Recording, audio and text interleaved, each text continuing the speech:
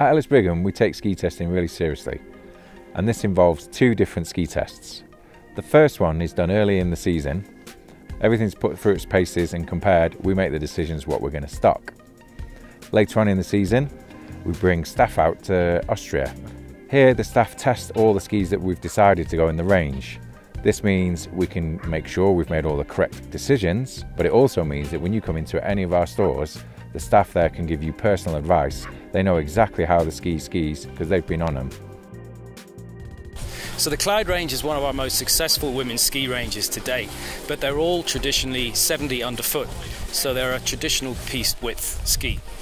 The market we think is changing, and as we're getting more variable snow conditions, you want a piste ski that's going to be able to perform all day through hard snow conditions right through to soft variable snow conditions. And the reason the Cloud wide body does that so well is we've tapered the ski out so it goes 75 underfoot out to about 112 in the tip.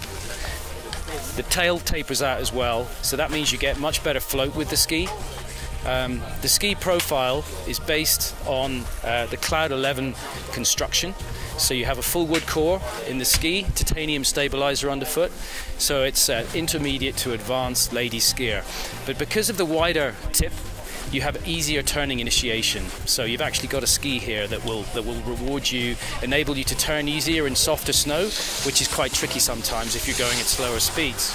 We've also built a dampening bar into the ski, which we call Servotec, and this again takes out all the bumps and all the whips. So again, you're able to get better control with the ski when you're on hard piste conditions. So it is literally a one ski for all piste conditions. I'm from Castleford store. Um, today I've been riding on the Atomic Clouds wide body. Um, I found that it was really grippy on the steep slopes.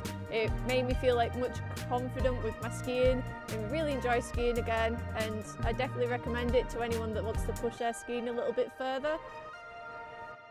Um, so the piste here, they haven't been in the best conditions, been pretty icy most places with a few bumps here and there, but this ski held itself really well and made even the hardest terrain easy to ski.